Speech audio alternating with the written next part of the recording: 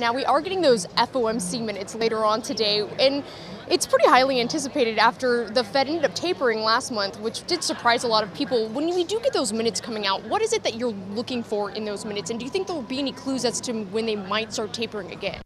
Um, you know, I think listening to the last speech that we had in December, which was um, which was pretty transparent, it was it caught some people off guard, myself in, included in that, and it, it, gave us a pretty good insight as to what the thought process is going to be for the first quarter 2014. So coming into today's speech, we'll probably hear a little bit more, maybe a little bit more information um, about what was discussed and how they probably came to their decision on tapering, and what the outlook is going to be for the next few months here. It's important that we get that same tone from December meeting um, in, into this this minutes you know that are coming out now. We, we have to continue to hear that that transparency and information. This is a very fragile situation. We've seen how the markets have reacted both ways, up and down after these minutes come out. So it's going to be interesting to see how it's presented today. I think we know what's going to be presented. It's just how it's presented. Now, fourth quarter earnings season is kicking off unofficially with Alcoa tomorrow. Now, when it comes with a company like that who was just recently kicked off the Dow, do you look towards those aluminum prices and how it's going to affect it in that quarter?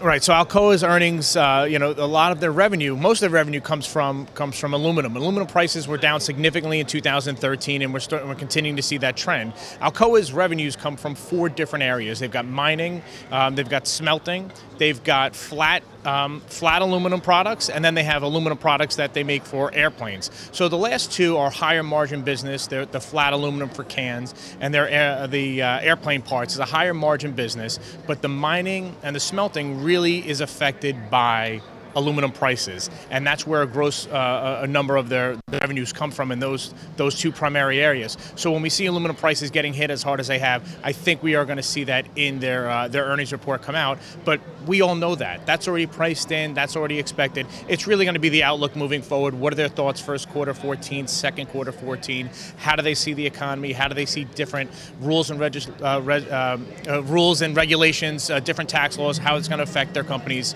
moving forward?